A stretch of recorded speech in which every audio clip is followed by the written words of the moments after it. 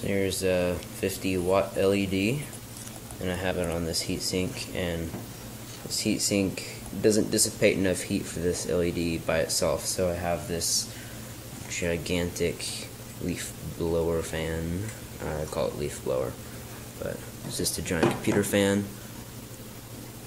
And to supply power to this thing I have this toroid transformer which I rewound to get me at about 39 volts AC when rectified is 36 and have this large industrial switch and this large over 200 watt rated um, variable resistor to dim the LED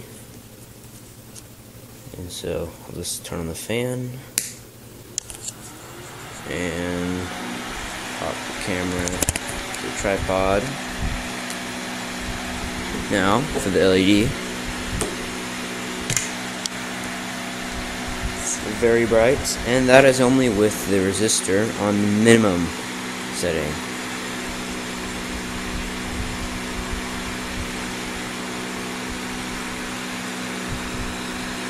At full power, this LED puts out 11,000 lumens, which is an incredibly large amount of light for such a small thing to be putting out, and only be using 50 watts.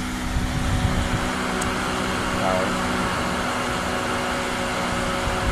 And it's bright enough that it makes my camera put these black lines across the screen because it doesn't know what to do with that much light going in.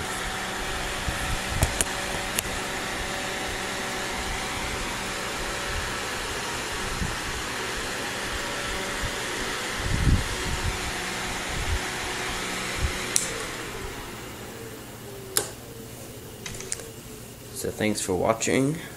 If you like this video, a rating would be appreciated. And bye.